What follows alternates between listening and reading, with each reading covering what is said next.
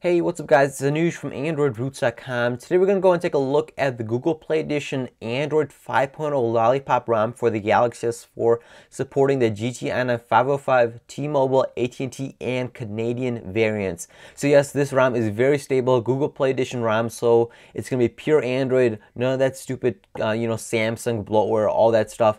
It's very pure Android, you're not going to get any bloatware at all, which is really nice. And we can go ahead and go into settings, go all the way down to about phone, and as you can see, we're running on Android version 5.0. We can go and tap on the Android version to show you that we are actually running on Lollipop.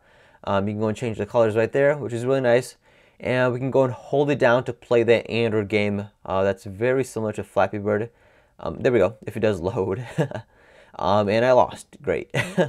um, so as you can see, all the animations, even the, um, the drop down, everything is exactly the same since this is running on Lollipop. And I can go and show you a comparison to the um, Nexus 6 that is obviously running on Lollipop as well. Um, so I'll show you the drop down. As you can see, drop down is exactly the same. Um, I'll show you the app drawer as well. App drawer is working the same. I would show you the messenger, um, although I have messages on this phone, so I'll just show you on this one. Um, so as you can see, everything's exactly the same. Uh, phone call, all that good stuff is exactly the same, and also camera does work great.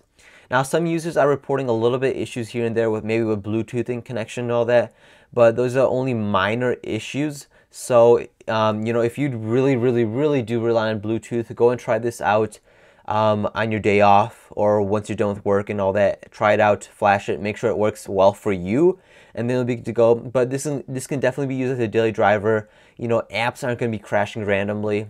Um, so it's very stable and it's really nice. And one other thing that the developer went ahead and added was these extra features. They're just minor extra features. So under interface, you have battery to, uh, to show battery percentage, boot animation, host name, and network, traffic, and a few others.